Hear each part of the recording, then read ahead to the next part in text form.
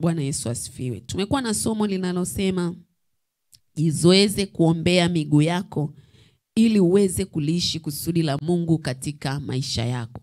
Jizoeze kuliombea kuombea miguu yako ili uweze kuliishi kusudi la Mungu katika maisha yako. Na nikakwambia kuna miguu, kama kuna mtu wa nje, kuna mtu wa ndani. Nikakwambia miguu tunaiongea hapa, ya kwanza ni ya mtu wa ndani, kwa sababu mtu wa ndani ndo anayeongoza maisha ya mtu wa nje, yaani namaanisha roho kuna vitu viwili, roho na nafsi hazionekani mwili unaonekana. Roho na nafsi kwa asilimia kubwa ndo vinaongoza maisha yako. Bwana Yesu asifiwe. Kwa hiyo miguu ya ndani, yule mtu wa ndani unatakiwa ujifunze kuwekeza sana kwake, na moja ya kitu ambacho unatakiwa kuwekeza, kwa mtu wa ndani ni kuombea miguu yake, kuombea miguu yako ya ndani. Tukasoma kitabu cha Matendo kumi na sita ishirini na nne ambako Paulo na Sila walifungwa miguu yao wakiwa gerezani, wakafungwa miguu na mikono yao. Nikakwambia tujifunzi neno la mikono, sasa hivi tunajifunza miguu. Lakini pia tukaona kwa habari ya Yeremia jana, tulisoma kwenye Yeremia ishirini moja hadi tatu namna ambavyo alivyotoa unabii kuhusu Israeli, wakamkasirikia wakamfunga. Bwana Yesu asifiwe, wakamifunga miguu yake. Lakini pia Ayubu anasema kwenye Ayubu 31:27 ya kwamba waitia miguu yangu katika mkatale na kuyaua mapito yangu. Nikakwambia miguu yako ikifungwa, unazuiliwa hatua zako kuendelea kusogea. Kwa hiyo unakuta mtu labda ana miaka ishirini na tano anaishi maisha ya mtu wa miaka kumi na tano. Mtu ana miaka sitini bado anaishi maisha ya watoto wa miaka thelathini na tano. Kwa nini?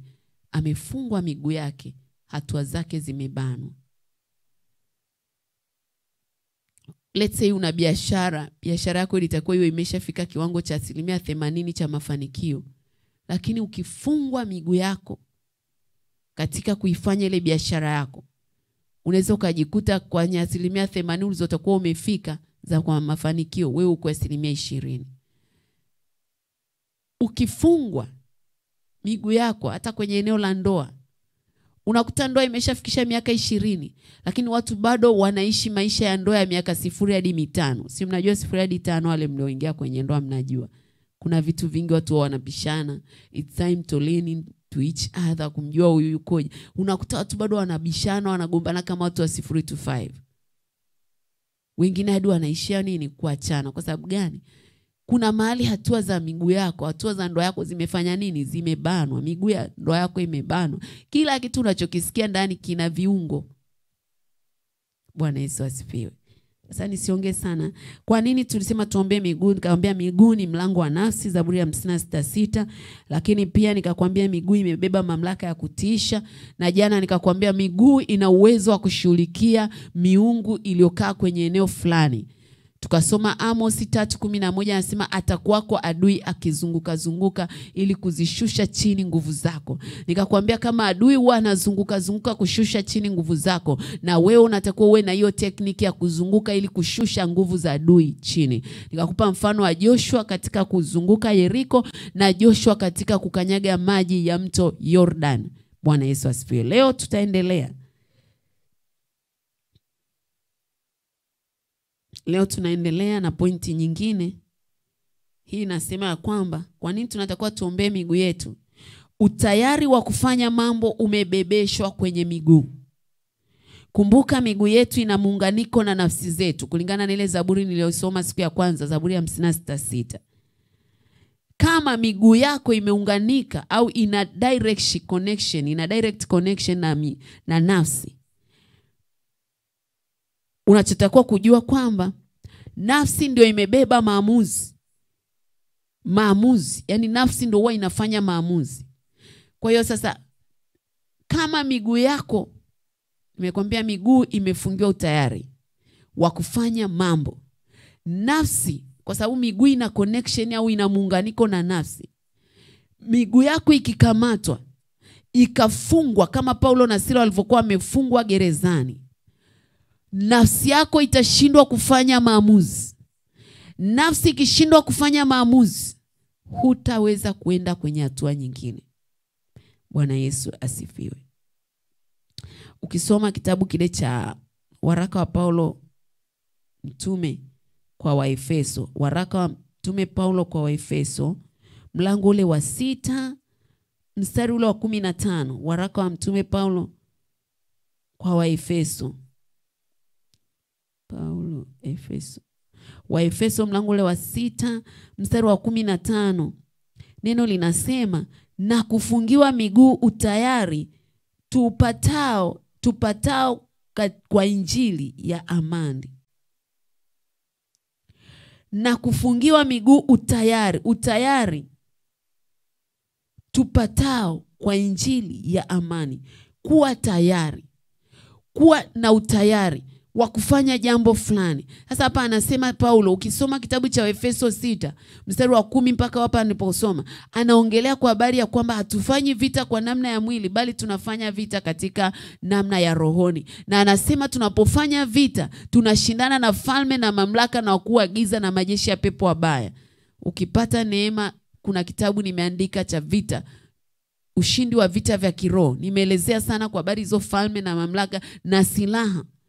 Sasa silaha mojawapo Paulo anaoisema ni miguu ifungiwe utayari. Nilikwambia ya kwamba hata ukivaa silaha zote, miguu yako isipokuwa tayari kunyanyuka na kwenda kupigana, utapigwa pamoja na umevaa chapeo ya wokovu, pamoja na umevaa diria yake, pamoja na kwamba unajua kuna silaha, sijui kuna upepo wa kisulisuli, sijui kuna mkuki wa Bwana, sijui kuna nyota na mwezi.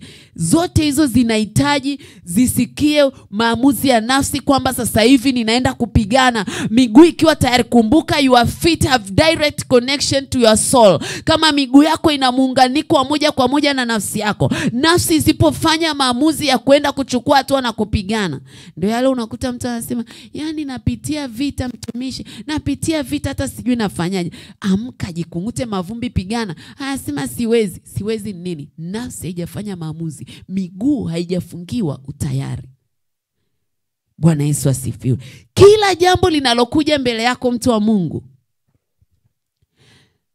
liwe zuri liwe baya, linategemea maamuzi unaoyafanya juu ya kulikabili lile jambo utayari unaokuwa nayo, let's say ni jambo baya, utayari ulionao wa kuhakikisha unaenda kupingana na lile jambo, kupigana mpaka liondoke, upo? Okay, linaweza likawa ni jambo zuri. Kuna watu Mungu anakuwa, umekuwa unamwomba Mungu muda mrefu, Mungu nibariki, Mungu nibariki. Mungu anakuambia okay, anzisha biashara fulani. Unaendelea kufunga tu na kuomba, unaendelea kufunga na kuomba Sikia, ukiona umefika, Mungu amesha kusemesha kitu na umejua hii ndio njia, alafu haukifanyi, ujue kuna shida kwenye miguu yako ya ndani. Badala ya kuendelea kumwomba Mungu kwa habari ya breakthrough ya kile kitu, nenda anza kufanya toba kwa ajili ya miguu yako, ili utayari wako urejeshwe. Utayari ukirejeshwa, mtu wa Mungu, utaenda kuanza ile biashara utayari ukirejeshwa, utaenda kufanya ile kazi Mungu aliyokupa kwa umakini. Utayari ukirejeshwa, utakuwa tayari kufanya ile huduma Mungu aliyokusemesha. Sikia, Mungu wetu ni wa utukufu, hata utukufu haanzi na kitu kikubwa, anaanza na chini kwanza. Usipokuwa na utayari wa kuanza kukonfronti mambo madogo, nataka nikwambie, utashindwa kwenda kwenye yale makubwa. Kwa hiyo kadiri unavyokuwa kila siku unamwomba Mungu, anapokupa hatua ndogo, ukashangaa ile hatua uifanyii kazi, shida haiko kwa Mungu. Shida haiko kwenye yale aliyokuonyesha, shida iko kwenye miguu yako. Nenda mbele za Mungu kwa toba. Mwambie Mungu, sijui ni wapi nimebadilishiwa miguu.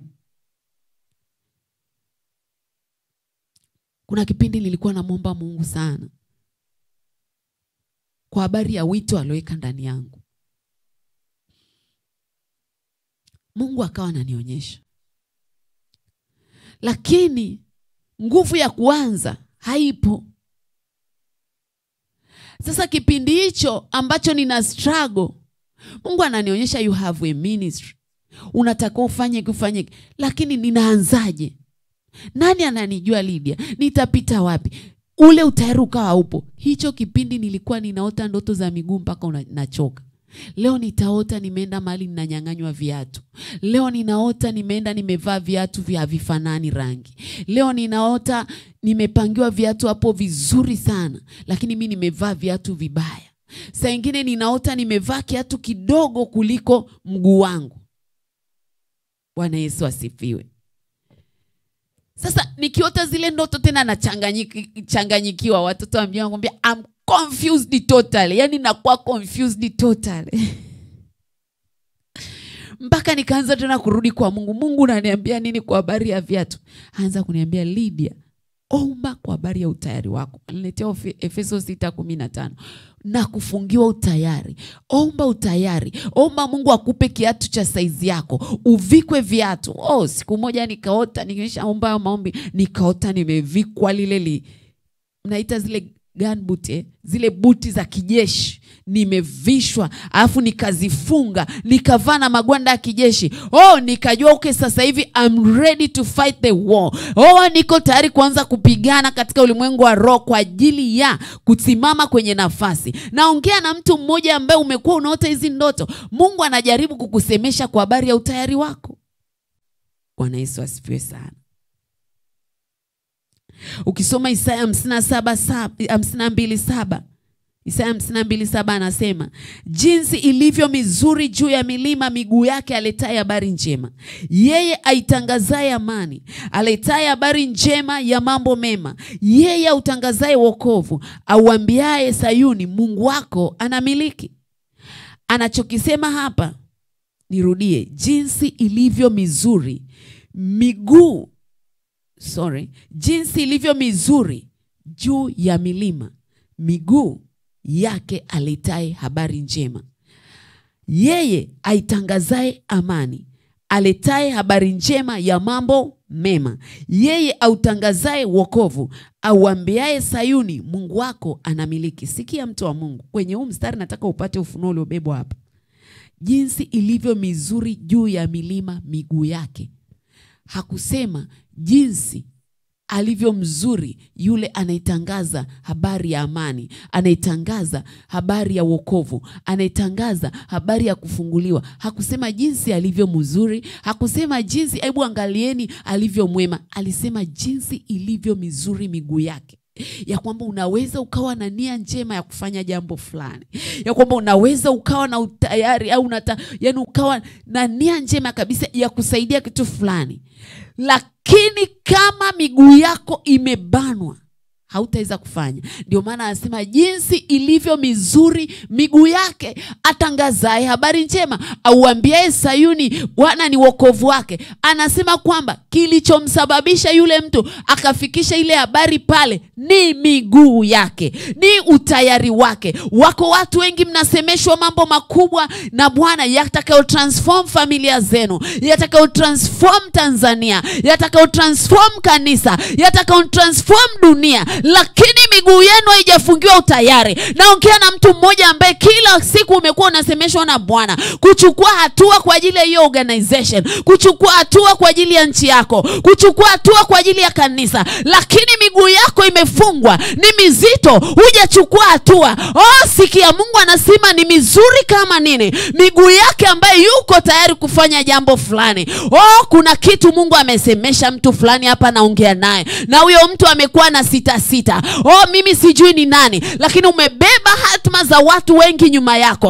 Oh, nenda mbele za Bwana kwa toba, mwambie Bwana, ule utayari uliobanwa mahali ninaurejesha, ninaomba unirejeshe, ninaomba unirejeshe. Nataka nikwambie, watu wakienda nyuma, watu wakichomwa, utadaiwa. Kwa sababu gani? Umesitasita mara nyingi, umesitasita muda mrefu, umesitasita kwa miaka mingi kufanya hilo jambo. Saa imefika, Bwana ameleta ujumbe kwako, uchukue hatua thabiti ya kufanya hicho kitu. Kuna watu wengi wanakusubiria, kuna watu wengi wanakusubiria. Sio saa ya kulia, sio saa ya kusema sina resources. Ni saa ya kumwambia Bwana, ninaomba anointing kwenye miguu yangu, ninaomba anointing kwenye miguu yangu, miguu yangu ya ndani ihuishwe, niweze kufanya maamuzi, niweze kuchukua hatua. robo shakataya nisijui naongea na nani lakini nasikia uchungu ndani yangu. Kuna watu mnaenda na vitu makaburini. Kuna watu mtakufa na destini za watu makaburini mtazikwa. Kwa sababu tu miguu yenu hamkuiombea. Hamkuomba kwa mzigo mungu afungue miguu yenu mwanze kufanya hivyo vitu mungu alivyowasemesha. Sijui naongea na nani lakini kuna mtu umekuwa unasita kufanya jambo kwa muda mrefu. Its time to start that thing. Ingia kwenye maombi yawe ya kufunga lakini tafuta kurejeshewa utayari wako. Wengine nasema nao ulikuwa unafanya jambo fulani ghafla ukaumizwa utayari ukafa. Sasa hivi wala huumii watu wanavyopotea wala huumii jinsi sijui ni organization inakufa unachosema kwamba walichonitenda sikia utayari wako umeibiwa. Ni saa ya kwenda mbele za mungu kwa toba na kumwambia bwana ninarudi ninatubu ninaomba unirejeshee utayari wangu. Utayari mahali popote shetani ulipouchukua bring back to me usimame tena. Mungu hata hata hata kuuliza kwa nini ukufanya atakudai vile ambavyo ukuvifanya hata kuuliza kwa nini lidia hukuhubiri injili atakudai matunda ya wewe kutokuhubiri. Sikia yesu alienda kwenye mtini. Tena neno linasema ule mtini ulikuwa ni kipindi cha kiangazi kipindi ambacho hatutegemei mtini uwe na, ma, na matunda. Kama ambavyo sasa hivi hatutegemei tuende kwenye mwembe tukute matunda ya mwembe. Lakini yesu aliudai matunda. Sijui kama unanielewa hakudai ni kwa nini mtini haukuzaa. Alidai matunda matokeo ya mtini kuwepo. Na wewe hautadaiwa ni kwa nini hukuzaa. Utadaiwa matunda ambayo hukuyazaa. Naongea na kanisa asubuhi ya leo. Naongea na mtu ambaye umebeba destiny ya watu milioni watu elfu watu mia tano alafu unatoa sababu kila siku. Nachotaka nikwambie mungu atakudai yale ambao hukuyazaa. Atakufunulia kitabu chako. Let's say kina kurasa elfu moja alafu umeishi kurasa mbili. Mungu atakuonyesha zile kurasa elfu moja ambazo hukuzizaa. Alafu atakwambia ninazihitaji. Sijui tutajibu nini mbele za bwana. Ni saa ya kanisa kurudi mbele za bwana watu wa mungu kurudi mbele za bwana na kuomba utayari. Tulisoma kwenye maombi yale ya mwanzo ya warumi ya kwamba hata viumbe vinasubiria kufunuliwa kwa wana wa mungu. Viumbe vinasubiriwa vione nguvu ulioibeba vione maamuzi unayofanya leo kwa ajili ya generation ya watu miaka ishirini ijayo miaka thelathini ijayo. Watu wanasubiri. Sikia upako wa elisha ulitegemea upako wa eliya upako wa joshua ulitegemea upako wa musa. Oh ninataka nikwambie hata kutenda kazi kwa yesu kulitegemea upako aliokuwa ameubeba yohana. Fikiri ya kwamba musa asingekubali kusimama kwenye nafasi tusingekuwa na joshua. Eliya asingekubali kusimama kwenye nafasi tusingekuwa na elisha ninaongea na watu. Kuna watu mmebeba generational blessings baraka ya vizazi na vizazi. Mama utayari ulionao kwenye kuombea familia yako umebeba baraka ya watoto wako ya miongo minne. Unapoacha kuomba na kuzira ya kwamba mume amekuuzi watoto wameenda ndivyo sivyo ukaacha kuomba unaua baraka ya miaka mia nne ijayo ya uzao wako. Nataka niongee na kanisa ambalo mmenyang'anywa utayari miguu imefungwa ni saa ya kurejesha hiyo miguu na kumwambia bwana oh, I'm praying for my redness in my feet. Robo sijui naongea na nani lakini neno la bwana likija linahitaji kuzaa matunda. Kuna watu mnatakiwa kuinuka sasa mkaangazi tafuta utayari ulikuibiwa urejeshe simama. Ukisoma warumi kumi kumi na tatu kumi na tano neno linasema kwa kuwa kila atakayelitia jina la bwana ataokoka. Basi wamwiteje yeye wasiyemwamini? Tena wamwaminije yeye wasiyemsikia? Tena wamsikieje pasipo mhubiri? Tena wahubirije wasipopelekwa? Kwa maana sorry kama ilivyoandikwa ni mizuri kama nini miguu yao wahubirio habari njema. Kwa kila kwa kuwa kila atakayeliita jina la Bwana ataokoka. Basi wamwiteje yeye wasiyemwamini? Tena wamwaminije yeye wasiyemsikia? Tena wamsikieje pasipo mhubiri? Tena wahubirije wasipopelekwa? Kama ilivyoandikwa, ni mizuri kama nini miguu yao wahubirio habari ya mema. Bwana Yesu asifiwe. Mungu anatuambia kwamba kila alitiaye jina la Bwana ataokoka, lakini anasema hawa watu hawawezi kumwita Bwana wasipomwamini, lakini pia hawawezi kumwamini wasiposikia, kwa sababu neno lasema imani huja kwa kusikia. Kusikia nini? Kusikia neno la Mungu. Lakini mtu hawezi kusikia pasipo kuwezeshwa, pasipo kuhubiriwa. Sasa yule mhubiri anawafikiaje watu? Anasema huyu mhubiri ni lazima apelekwe, alafu anasema anapelekwaje? Anasema ni mizuri kama nini miguu yao wahubirio Injili au wahubiriwe habari ya mema. Nataka uone kitu hapa. Injili, Yesu yupo, lakini hajawafikia kila mtu. Anahitaji apelekwe kwa mataifa. Anapelekwaje? Wanahitajika watu wa kwenda kuhubiri Injili na ninaomba nikwambie, kuhubiri injili sio lazima ubebe maiki kama nilivyoshika. In your personal level, umeifanyaje kazi ya injili? Je, nyumbani kwako wanajua kwamba una Yesu? Ukoo wako unajua kwamba una Yesu? Ukienda kwenye vikao vya familia yako, wanamjua Yesu uliyembeba? Ofisini kwako unakofanya kazi, wanamjua Yesu wako? Biashara kwako, wanajua Yesu wako? Mnapoanza hata vikao vya harusi, wanajua kwamba kuna mtu amembeba Yesu hapa? Au wanafika tu wanasema leteni kreti mbili hapo, wanaanza kunywa mbele yako, wala hamna hofu hata kuomba wala nini, hamna. From personal level, miguu yako inatakiwa iwe na utayari wa kumbeba Kristo na kumhubiri kwa watu, lakini kuna kuwawezesha wengine. Mungu anataka wewe uwe ni miguu ya kuwapeleka watu kuhubiri Injili. Unawapelekaje? Kwa maombi yako, kwa sadaka yako.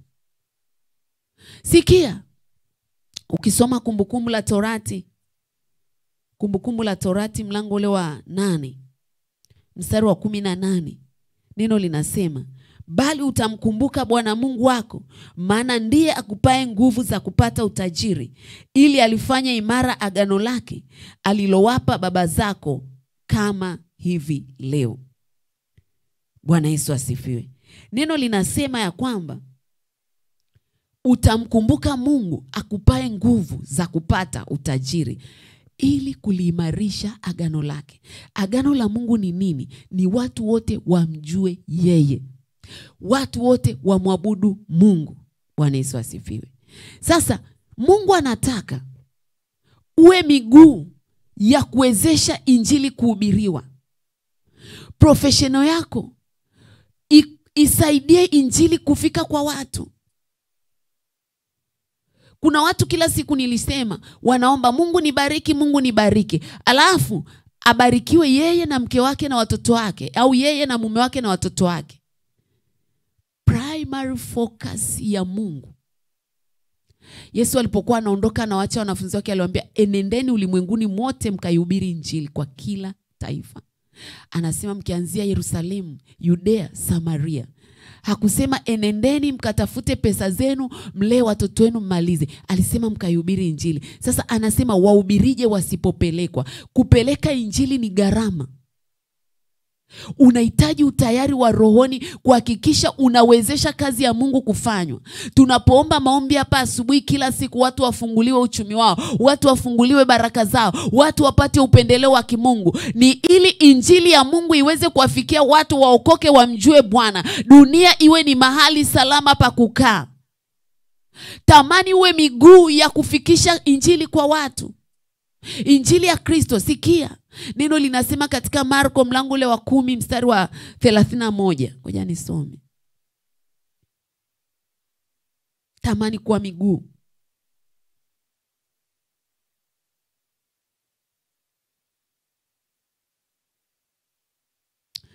Neno linasema mstari ule wa ishirini na nane hadi thelathini.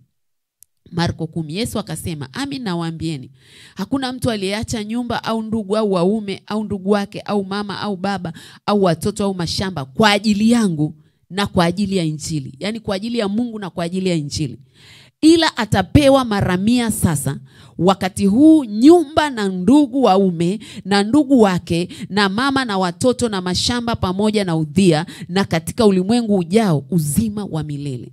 Nilichokuwa nasema nini? Anasema wahubirije wasipopelekwa, afu anasema ni mizuri kama nini miguu yao wahubirio Injili, au miguu yao wapelekao habari njema. Nikakwambia kuna kwenda kuhubiri ni personal kuna kuwawezesha wale ambao Mungu anatumia kuhubiri kwa karama uliopewa na Mungu. Unaweza ukawa ni mwimbaji, ukienda ukiimba, upako unashuka. Tamani kuwa miguu, fanyika kuwa miguu, Yesu afikishwe mahali kwa sauti yako. Unaweza ukawa ni mwasibu. Mungu anakupa fedha, tamani fedha zako zikahubiri Injili kwa sababu Yesu anawaambia kina Petro walipomuuliza, tumeacha vyote tumekufuata, tutapata nini? Yesu akamwambia Petro, hujaelewa hazina niliyoibeba. Ukinifuata utapokea mara mia katika maisha ya sasa, na mashamba na nyumba na watoto na mali na uzima wa milele. Tafuta kwanza kutumika kuwa miguu kwa habari ya injili ya Kristo. Tunakufikia hapo ulipo kwa sababu ya fedha. Tusipokuwa na intaneti hapa hauwezi kutusikia mtu wa Mungu. Tusipokuwa na kamera hapa huwezi kuona kipindi, utasikia tu sauti. Tusipokuwa okay, tunaweza tukarekodi kwa simu, lakini bado hautakuwa na effectiveness ya injili. Tunaweza kwenda dunia nzima kwa sababu ya pesa. Tamani kuwa miguu ya kufikisha injili kwa Kristo, kwa watu kwa sababu utapokea mara mia hapa duniani na uzima wa milele. Sasa fikiria leo ukifanyika miguu, let's say ule umetoa laki moja au umetoa elfu kumi au umetoa milioni, whatever umetoa, anasema utapokea mara mia ya kile ulichokitoa kwa sasa, maisha ya sasa. Unaweza ukaanza kuipokea kimafungu mafungu, au saa Mungu anaweza akakufanyia muujiza kabisa. Sasa fikiria umetoa mara kumi umetoa mara ishirini. Kila unaposikia fursa umetoa, umekuwa miguu ya kufikisha kazi ya Bwana kwa watu. Nataka nikwambie, utakuwa ni mtu wa baraka hujawahi kuona. Utashangaa, unaweza ukakaa, kuna watu kila mwezi lazima ende hospitali. Utashangaa wewe mwaka hujaenda hospitali, kwa sababu watu wengine wafikiri baraka ni lazima uwe na eh, mali nyingi. Baraka ya kwanza ni afya yako. Utashangaa Mungu anavyokubariki afya yako. Utashangaa amani inayoachiliwa kwenye ndoa yako. Utashangaa watoto wako wanavyoendelea kusaksidi Kwa nini? Umekuwa miguu. Ni mizuri kama nini miguu yao. Bwana Yesu asifiwe. Sisi tunaomwamini Kristo, wito wa kwanza tulioitiwa ni kumtangaza Kristo, na katika kumtangaza Kristo tunaujenga ufalme wa Mungu tunapomtangaza tuna Kristo tunakuwa miguu. Unaposikia kanisani kwako wana, wana juma la umisioni, sijui wanaenda kutangaza injili vijijini, tamani na we kuachilia kitu. Kuna saa huwa wanasema una nguo, leta, peleka, kuwa miguu. Una pesa, inaweza ikawa ni kanisani kwako au ni kwenye huduma mbalimbali. Kuna watu nilikuwa nawafundisha wiki hii kwa habari ya kutoa sadaka. Kuna mtu aliuliza kwamba Jamani, vifungu la kumi linatolewa kwenye net au gross ya mshahara wangu. Nikamwambia, sikia, ukimpenda Mungu hata mshahara wako wote unaweza ukatoa kwa ajili ya Bwana, kwa sababu kesho yetu haijabebwa na tulivyovishika mikononi. Kesho yetu iko mikononi mwa Bwana. Kila fursa unayopata kuwa miguu ya kuifikisha injili kwa Kristo, kwa elimu yako, kwa fedha zako, kwa muda wako Tenda, tumika, tumika. Iko saa itafika utaweza kutumika, iko saa hutaweza. Petro aliambiwa na Yesu ya kwamba Petro, iko saa utakayofika ambao watakuchukua, watakubeba, watakuweka hapa. Kuna saa tunaona kama maisha tulionayo yataendelea hivi, nikiwa na miaka arobaini nafikiri nitaendelea kuwa hivi, nikiwa na miaka hamsini nafikiri iko siku utafika miaka tisini na tano utafika miaka mia watakuwa wanakuchukua wanakuhamisha. Acha sasa hivi miguu yako ifanye kazi. Iko saa hicho kipato unachokipata hautakuwa nacho. Wekeza mahali ambako hakuna kutu wala nondo wala mende wa kula hizo pesa. Wekeza kwenye hazi, hazina yenu iwekeni mahali ambako kutu na uharibifu wote haufiki. Utapokea riwadi mara mia. Bwana Yesu asifiwe. Nikiwa namalizia, nitoe mfano mmoja. Nilimsikiza mtumishi mmoja wa Mungu ni mtumishi ambaye anahubiri na ana kanisa kubwa sana hapa hapa Tanzania, wala sio nje. Huyo mtumishi akasema siku moja alienda mkoa fulani, akamkuta mzee mmoja ambaye alikuwa anahubiri miaka ile aliyokuwa anahubiri mzee Kolola, mzee Kulola. Akasema akamkuta yule mzee anaishi kwenye nyumba ambayo ni ime inavuja, nyumba haina hadhi. Akasema huyu ni mtumishi wa Mungu, nikamwonea huruma nikasikia ndani yangu kumjengea nyumba. Anasema yule baba akamwambia yule mzee, baba, ninaenda Dar es Salaam nitakujengea nyumba. Yule mzee akalia machozi, akamwambia usije ukapata laana walioipata wengine. Kuna waliokuja hapa kama wewe wakasema wananijengea, wakujenga. Mwanangu, ninaomba ujiepushe na hiyo laana, usije ukaweka nadhiri. Yule baba akasema nitajenga. Anasema nifika Dar es Salaam, akaanza utaratibu wa kumjengea nyumba. Yeye ana project zake zikasimama, akamjengea yule mtumishi wa Mungu nyumba. Anasema yule baba alikaa kwenye ile nyumba, alishukuru sana. Anasema alivyomaliza tu kujenga akarudi, Mungu akaachilia ndani yake ufunuo wa kujenga kanisa ambalo litabeba watu elfu tano. Lile kanisa linahitaji zaidi ya bilioni tatu. Anasema yule mtumishi akiwa sasa hajui hizo bilioni tatu anazipataje, anafanyeje, akawa anamwamini Mungu. Akasema akawa akiwa anaendelea na huduma, akawa na mkutano fulani ambao alienda kufanya, nafikiri ni mkoa wa Mbeya. Akasema alipoenda kule alikuwa amenunua, ametoka kununua gari yake Prado nafikiri alisema ya milioni sitini. Anasema akiwa pale kwenye ule mkutano, ulikuwa ni mkutano wa viongozi wa dini, Mungu akamwambia mtumishi wangu, akamwambia sasa yeye yule mtumishi akamwambia, mwanangu uko tayari kunipa koti lako nivae, ninasikia baridi? Yule mtumishi akamwambia, Bwana, niko tayari. Akamwambia mara tatu, uko tayari kunipa koti lako ili ni, ni kwa sababu ninasikia baridi? Akasema niko tayari. Akamwambia, vua koti lako nipe. Sasa anasema kile kitendo cha imani, Mungu akamwambia, koti lako nalotaka unipe ni gari lako jipya. Anasema lile gari ndio mara ya kwanza ameenda nalo mbea gari la milioni sitini. Anasema akaambiwa mpe askofu fulani, hana gari, mpe gari hilo ambalo ni jipya, umekuja nalo wewe, utajua cha kufanya. Anasema nilitoa ile gari kwa uchungu, machozi yakiwa yananitoka. Alafu akasema lakini Mungu ulisema ya kwamba kila aliyeacha mambo yake au aliyetoa kwa ajili ya Injili utampa mara mia hapa duniani na uzima wa milele. Naomba mara mia ya hiki nilichokitoa. Anasema akatoa ile gari akapanda basi akarudi Dar es Salaam. Anasema aliporudi muujiza ilianza mara milioni mia tatu za kujenga kanisa, mara milioni ngapi? Nafikiri ile kanisa amemaliza la bilioni tatu. Sijui naongea na nani. Utayari wako wa kufanya kwa ajili ya Bwana, tumika kuwa miguu ya kufanya ya kuwafikia wengine. Acha kuwaza kidogo ulicho nacho, waza kesho kubwa iliyobebwa mikononi mwa Mungu. Mungu anapotaka uitoe ile ndogo ulionao mikononi, ni kwa ajili ya kufungulia hazina kubwa iliyoko mbele yako. Kwa hiyo tumika kuwa miguu ya kuhakikisha cha Bwana kinafanyika. Cha Bwana kikifanyika, cha kwako kitakuwa dhahiri tu. Anasema, bali utafuteni kwanza ufalme wa mbinguni na haki yake, na hayo mengine mtazidishiwa. Mungu akitupa neema, siku ya kesho tutaangalia mifano ya watumishi ambao miguu yao Mungu aliiweka kwanza wakfu, afu wakaanza kumtumikia na namna walivyoacha alama kubwa duniani. Mungu wetu na Baba yetu wa mbinguni, tunasema asante kwa kuwa unazifunua siri zako kwetu, unatufundisha namna ya kutembea. Ninamleta kila mmoja wetu aliyesikia injili asubuhi ya leo.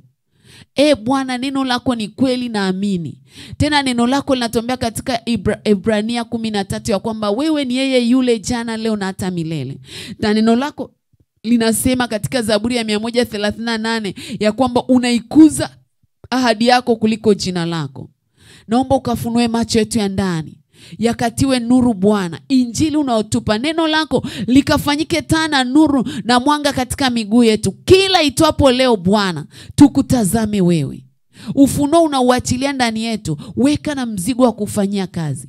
Miguu iliyoibiwa Bwana, tunairejesha kwa damu ya Yesu. Popote iliposhikiliwa, ilipofungwa, tunaifungua kwa jina la Yesu. Kwa mamlaka ya jina la Yesu, ninakata kila minyororo iliyoshikilia miguu ya watu wako Bwana, iachiliwe, waanze kutembea katika mtembeo wako, waanze kutembea na kutenda kazi yako pasipo kujihurumia, pasipo kujiwazia, oh, pasipo kujionea shaka. Baba, utembee ukashike miguu yao katika jina la Yesu. Tusaidie Bwana, tunaweka wakfu miguu yetu ya ndani, utayari kwa upya katika jina la Yesu Kristo wa Nazareti aliye hai. Asante Mungu wetu kwa uaminifu wako, asante kwa rehema zako.